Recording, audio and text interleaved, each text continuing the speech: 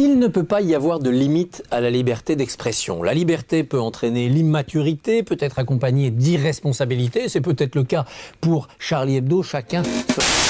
La liberté d'expression a des limites. De quel droit Dieudonné et ses compasses peuvent-ils encore nuire dans cette campagne pour les élections? Liberté d'expression totale, Total. mais Dans certaines dans certaines limites. Mais si moi j'ai envie de faire une caricature euh, sur Mahomet ou sur un rabbin ou sur Jésus-Christ, il faut que j'ai le droit de le faire. Tu comprends? C'est ça la France. Quand tu sais que tu vas blesser 10 millions de personnes, pourquoi tu vas les blesser?